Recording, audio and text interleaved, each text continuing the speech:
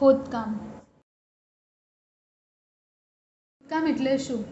જગ્યા સાફ અને લૂઝ કરીને કોઈપણ સપાટીને કોઈપણ પ્રકારના બાંધકામ માટે ખોદવામાં આવે છે. આમાં મુખ્યત્વે કટિંગ અને ફિલિંગનો સમાવેશ થાય છે.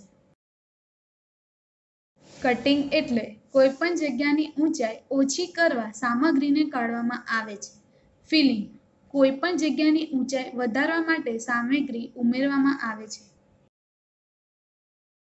ખોદકામના સ્ટેપ્સ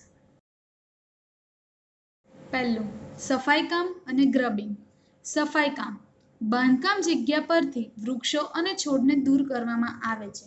અને ગ્રબિંગ એટલે બધી પોચી માટી, ઝાડ અને છોડ મૂળમાંથી દૂર કરવામાં આવે છે. જમીન જો ભવિષ્યના ઉપયોગ માટે હોય, તો પણ દૂર કરવામાં આવે છે. બીજું ચિહ્ન કરવા. જગ્યા અનુસાર ચિહ્નિત થયેલ હોવા જોઈએ. માર્ગદર્શક આધાર કે ઉભણી અને જાડા થ્રેડ ખોદકામ વિસ્તારોમાં હોવા જોઈએ. જગ્યા મુજબ ચિહ્નિત થયેલ હોવા જોઈએ. ખોદકામ લેઆઉટની પુષ્ટિ થવી જોઈએ.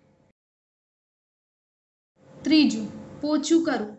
સામગ્રીને હટાવવા અને તોડવાની પ્રક્રિયા કરવામાં આવે છે. આમાં ડ્રિલિંગ, વિસ્ફોટ, છંટકાવ અને કટિંગનો સમાવેશ થાય છે. તે રેમ, વિસ્ફોટક ફ્યુઝન કટર, ઝૂલતા, રોટરી વગેરે દ્વારા કરી શકાય છે. ચોથું, ખોદવું અને ખેંચવું. સામગ્રીની ઊભી હેરફેર એટલે ખોદવું અને સામગ્રીની આડી હેરફેર એટલે ખેંચવું. ખોદવું એકદમ જટિલ પ્રક્રિયા છે. આ, ખોદવાની ક્ષમતા પર આધાર રાખે છે. કેટલીક કન્ટેનર ઉપાડવાનું, જેમ કે મજૂર અને સાધન સામગ્રીના પ્રકારની યોગ્ય પસંદગી કરવી જોઈએ. કેટલું ઝડપથી ખોદકામ ચાલે છે તેના પાથ મુજબ બકેટ પૂરેપૂરી ભરાવી જોઈએ.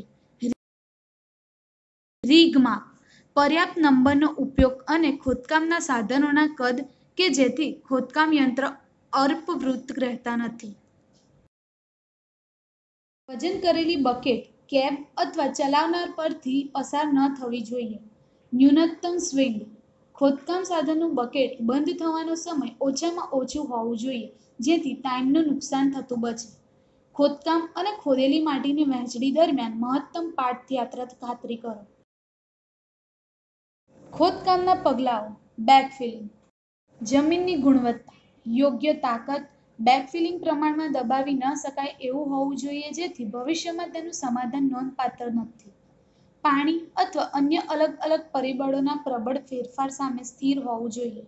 ભવિષ્યમાં બગાડ સામે ટકાઉ હોય છે. છઠ્ઠું, સ્પ્રેડ અને સ્તર. દેખાવમાં સુધારો, યોગ્ય ડ્રેનેજ રચના જાળવો, માટી સર્વે સાથે દખલ ના થવી જોઈએ. આ પ્રક્રિયામાં માટીમાં એક તણાવ આપવામાં આવે છે, જેનાથી ગીચતા વધે છે. કારણ કે હવા માટીના છિદ્રોમાંથી વિસ્થાપિત થઈ શકે છે. નિર્ધારણ સીટુ માટીમાંથી પર્યાપ્ત નક્કરતા નક્કી કરવામાં આવે છે અને તેની તુલના પ્રયોગશાળા પરીક્ષણ દ્વારા નક્કી થયેલી મહત્તમ ઘનતા સાથે સરખામણી કરવામાં આવે છે.